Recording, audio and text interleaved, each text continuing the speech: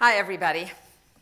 And I guess you can hear me. I'm a 30 year teacher, principal, middle school, high school, so I'm doing the wrap up. And in the good news, North Carolina New Schools way, it isn't just a look see. There's a lot of thinking and there's some work to be done. And um, I love Robin's way. We've saved the work to last. So it, you walk away knowing that you've accomplished something in addition to understanding and to meeting and to networking.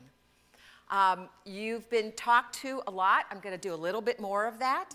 And then we're going to work together and spend a little time thinking about and reflecting on, as Robin said, on what these days have looked like, but particularly um, grounding ourselves and penetrating right down to student experience, student engagement, and to what it means to be in school right now, particularly if you're focusing on STEM education. So what we know is that we have to constantly still ask the question, why is STEM important? We talk in past about just the education part of it, but STEM is part of a pipeline to innovation and to workforce, and we heard lots of that from Tony Wagner yesterday. And anybody have a chance to overnight just get into the book a little bit? So you're getting a sense about what he's talking about to be an innovator, to be a youngster and be an innovator, and to be a teacher and to be treasuring innovation. But we know that we have to mainline STEM literacy. And that's something you know, but we can never start anything without reminding ourselves of why it is this is absolutely so crucial and reminding ourselves why we're focusing on this. This is not the top of the Chinese menu of education right at the moment, in which we're just picking this and it's going to disappear. We are in the eighth year of the mobilization nationally, and it's not going away. The report that I would focus you to is the Georgetown report that has come out from Tony Carnevale and Nicole Smith. Um, it, it's on, you can get it on the web, it's on their site. You can just Google Georgetown report. It comes actually right up. Why is this report important? I gotta say, I have 6,000 pages of STEM reports on my desk. This is the one that I, the only one I ever recommend. And it is because it answers what is STEM for uh, we as educators profoundly. We as workforce and economic people and worried about, and citizenry as a profound way. And it is worth your time. We know that tra traditional STEM has, has, is not going to work anymore. We know in our heart of hearts that it has to be different for our children. You saw that today. But what difference means and what it means to be different is a, ver is a conundrum.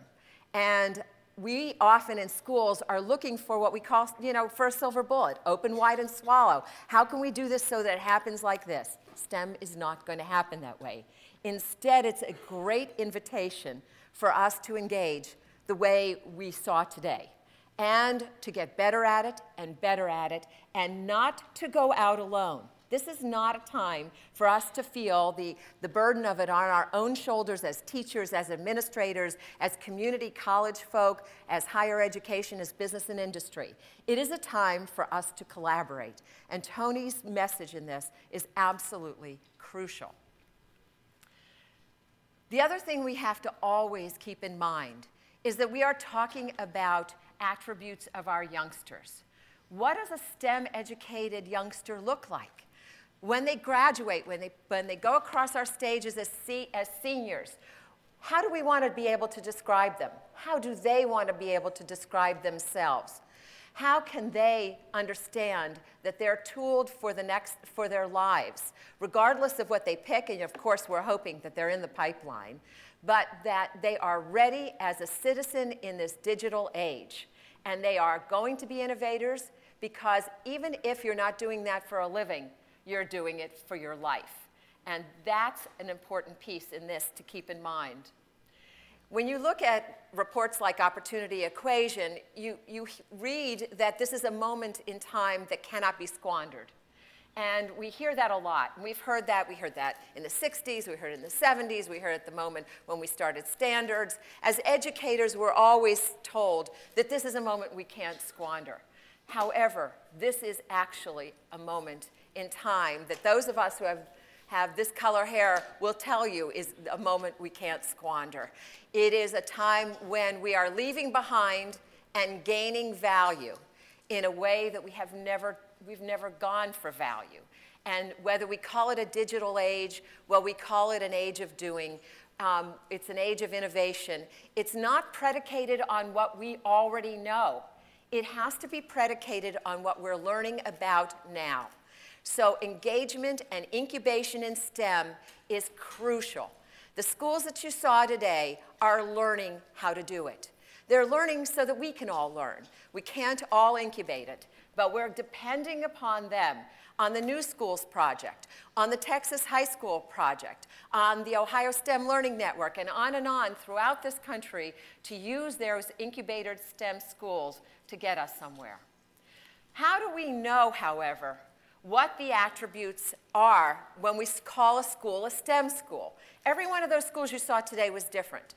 Every one of them calls themselves in some respect a STEM school. Nationally, we have decided by default that if a school decides to call themselves a STEM school, they're a STEM school. No criteria. There's, you know, you could, who knows why you decided to do that, but everybody has taken a step back and said, well, wait a minute. Then you get what a STEM school would get when, when maybe you're not a STEM school. Well, that's the whole point, is that if you've stepped up to the plate as a school, called yourself a STEM school, described attributes, maybe you're learning something that nobody else is. And maybe you can add value. Because what we have found in our nation is that we need every one of the STEM schools to be different and to be incubating and to be finding out how best to teach STEM education and to, for, you to, for the schools to know why things work, not just that they work. So it's not a problem, and we welcome more and more to our family of STEM schools throughout the country. It's quite important. Here in North Carolina, there's actually uh, um, a list of the STEM attributes um, I think on the DPI website actually, um, saying, well, this is what we suggest in North Carolina if you're going to be a STEM school. This is some of the, the attributes that we think are important. And by the way, um, you could be emerging them. You could be um, you, you, could be proficient in them because you're, you are five years into it and you're doing things really well for your own students. Um, not a value judgment, more where are you on the continuum. That helps to have some ideas about, about the schools themselves. The Texas High School Project actually has done this through rubrics and design, and design um, blueprints so that STEM schools become a little bit more elucidated. So this brings up a point. If you're interested, if you're here, if you've gone to school, you work in school, you're part of the STEM mobilization in this country, the thing that's incumbent upon us is to become students of this. So it's not that we're expecting somebody else to do it for us. It is that we are expecting for, uh, to collaborate with others, to learn ourselves, and to gain the kind of proficiency and talent and skill so that we can go out and help all of our brethren who want STEM schools in North Carolina, but also who want STEM to come in, um, in a very robust and vital way to the country. And this is, this is ground zero. That's, that's all I can tell you. The thinking behind the STEM schools, the importance of the way that they've been constructed, and the fact now that we're talking about scaling in STEM in North Carolina sets it far apart from all. The great value that DPI, um, the Department of Public Instruction, Rebecca Payne and all of your colleagues have brought to the state in thinking about this um, is absolutely beyond most states, that I can tell you that. And uh, in partnership with industry, in partnership with new schools, and on and on. And you saw the whole cast of characters the last two days. You saw what North Carolina has to offer. Okay, so now, what are you going to do about this? So everybody's talked to you. We've made recommendations. We're handed you a book. We have suggested that you see schools. Um, and very soon, um, probably within about 40 minutes, you're going to walk off. But we don't think that that's okay. We think that you have to walk off with a plan. So let's, let's see what, what we're going to do, and it's in your turn, to actually construct some meaning about what it means to scale STEM schools.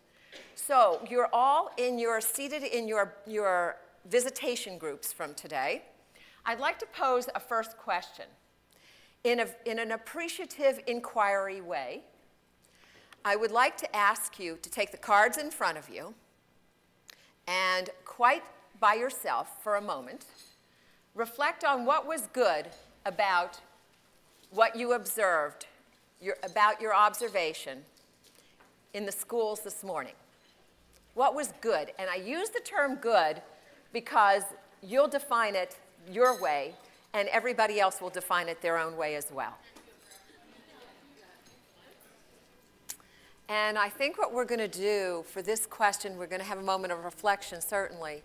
But then instead of just sharing with your table and with those who had common experience, what we want on the last question, what do you want to know more about? We across the room probably would love to know what you want to know more about. And we know that new schools would like that. And so in order to best um, respond to that, in the, in the months to come for all of us, um, whether, whether it's at new schools or, or your colleagues uh, um, here with you, I think we'd like to hear your voice on that. So what we'd like you to do is to take a moment with the cards again and reflect. What do you want to know more about? And then we're going to ask, we're going to do just sort of popcorn around and just have you pop up. And we have three mics somewhere, so we'll figure out where those are. But take a moment and reflect. What would, do you want to know more about?